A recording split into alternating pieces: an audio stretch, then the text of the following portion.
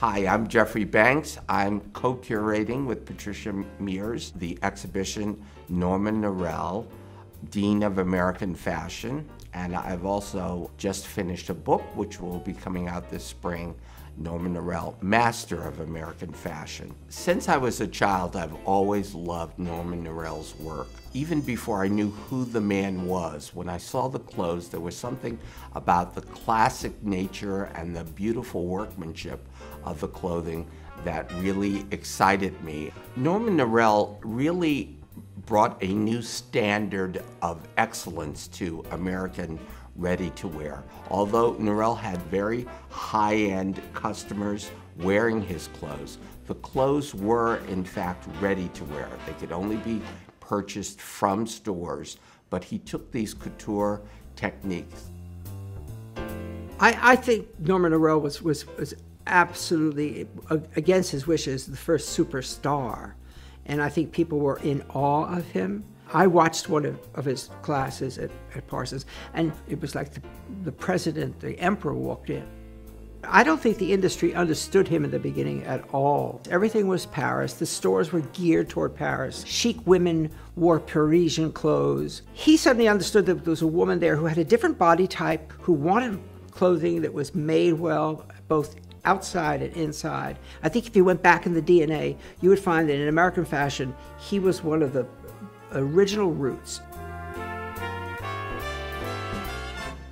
He was born in 1900 in Noblesville, Indiana. Norman Levinson. He changed his name when he came to New York. He took the Nor from Norman, the L from Levinson, and added an extra L for luck, as he said. His father was a haberdasher, and he would take him to Keith's Vaudeville. And Norman was fascinated with the stagecraft, the dazzle of sequins and paillettes, and that love of the theater led him to come to New York to go to Pratt to study fashion design and illustration, and uh, initially to work for movie houses, uh, in particular Paramount Pictures. When Paramount Pictures decided to move to California, Norman decided that he wanted to stay in New York. And then he went to work for Hattie Carnegie. Hattie Carnegie was an incredible entrepreneur. She was not a designer, but she was an immigrant who came from Poland. When she came through Ellis Island and the customs official asked her name, she asked, who is the richest man in America? And the customs official said, Andrew Carnegie. And she said, that's my last name. Her clientele was uh, really the, the best of uh, Park Avenue. Norman going to work for her in 1928 as part of her stable of designers. He quickly rose to be the head designer and he really honed his craft at Hattie Carnegie. Also, Hattie Carnegie went to Paris twice a year and she bought usually 200 numbers from all the houses and by taking the clothes apart Norell really learned about technique. This was a great education for him, and he did it for almost 13 years. A very well-known manufacturer of very high-end clothes, Anthony Traina, was invited to meet Norell. Traina said, now listen, I would like to hire you, but if you want your name on the label, I'm going to pay you less money. And Norell said, I want my name on the label. So the label was Traina Norell. And uh, in doing this, with all the fashion editors and buyers, Norell really became very well known. During this period of time with Traina, he really um, sort of honed his craft. Neiman Marcus, Bergdorf Goodman, Saks Fifth Avenue, they all began to recognize that he was one of the best designers on 7th Avenue, and he started to win a lot of awards. He was the first designer to win the Coty Award in the early 40s. Uh, he was also one of the first presidents of the CFDA, the Council of Fashion Designers of America. One of the things that I think was really pivotal with him was when Anthony Traina in 1959 decides that he is going to retire with a couple of silent investors. He bought out Anthony Traina, and for the first time at 60 years of age, the label read Norman Norell, New York. I think he had this huge burst of creativity because for the first time he was able to do whatever he wanted to do. And I think from that point, from 1960 to 1972, when he, when he died, I think was his most creative output. There were several codes that Norell did over and over and over again. When he found a silhouette, when he found an idea that he loved, he did it. Uh, one of the things beside me uh, that he's probably most famous for were the mermaid dresses. These were sequin sheaths.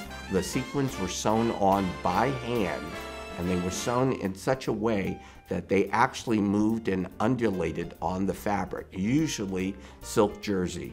Norell was such a perfectionist that he went to Paris to have his sequins made. He would go with the fabric and he would go to the sequin maker and he would wait for three days until samples of the uh, metal that was made into the sequins was dyed to make sure that it matched exactly the chiffon or the silk jersey.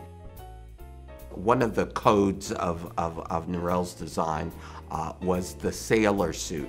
Uh, as a child, he wore a sailor suit that was actually one of the first ready-to-wear uh, garments made for children. It was made by a company called Peter Thomson in 1901. This sort of stuck with him, and as you can see, he uh, reinterpreted it, that throughout his career. One of the things that uh, Norell always insisted upon was that the clothes had to work for a woman's life. One of the things he did that was incredibly innovative in 1960 was he invented culottes. He said women lead modern lives. They get in and out of cars, they get in and out of subways.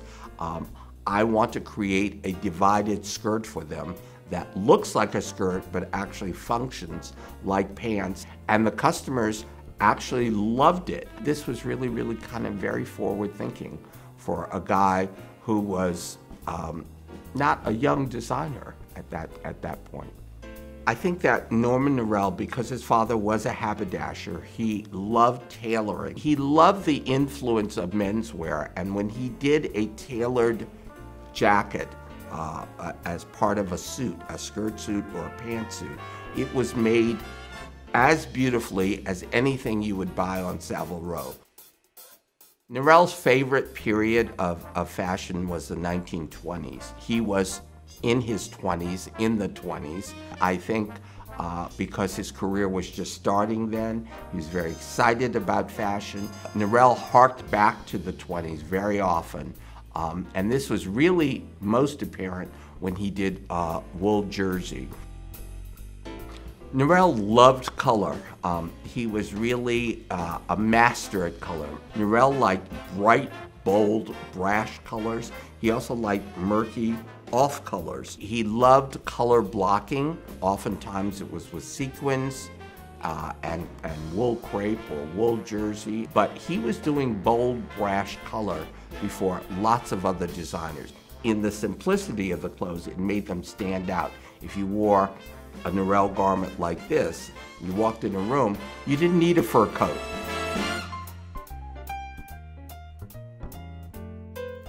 My name is Ralph Rucci, and it's a great honor to be a part of the project. If you take the word perfection and you dissect it, it becomes a series of images of the particular cuts that you would see within the clothes. The perfection of an armhole, the perfection of a shoulder line.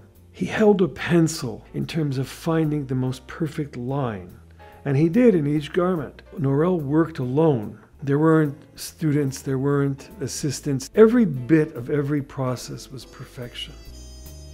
Silence, I think, pertains to all of our great gods of fashion. If you have a certain vocabulary, when the viewer looks at the clothes, you feel and you hear the silence. You were part of the level of taste and connoisseurship that Norell was offering in the collection. For Norman Norell, no detail was too small, whether it was a button, whether it was the fabrication, whether it was the lining. A Norell coat was incredibly interlined in the most extraordinary super silk organza. The hems were then all buckramed or hymo canvased on the bias, and then the taffeta silk linings were all hand set in. And what more silence is there when you see those hand stitches? You almost recall or understand the moment when all that is being done. I mean, look at this pocket. It actually curves over the hip. It's not a straight line. I mean, that's the kind of detail that is so quintessentially Norell. When you see a Norman Norell coat, it's got the right amount of buttons, it's got the right proportions, it's it, level-headed, and yet at the same time, it's romantic. It's a hard thing to achieve in clothing. One of the things I loved about Norell was that his daytime clothes were as dramatic and beautiful and sophisticated as his evening clothes. Most designers are known for one thing or the other.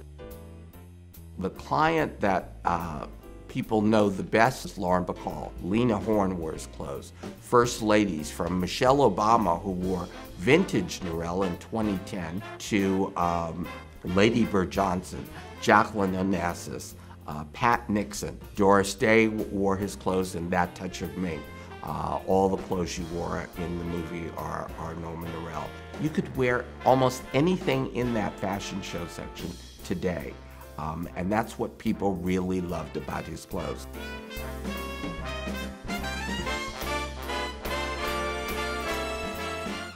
The takeaway for the exhibit is going to be, I think, timelessness and the simplicity of a few elements creating a mountain of possibilities. I want young people to know who Norman Norell was and how important he was. For so many years, we felt that the only good fashion came out of Europe, but Norell's clothes could equal anybody else's clothes. I really don't want people to forget him because I think his clothes were exquisite and he deserves to be remembered.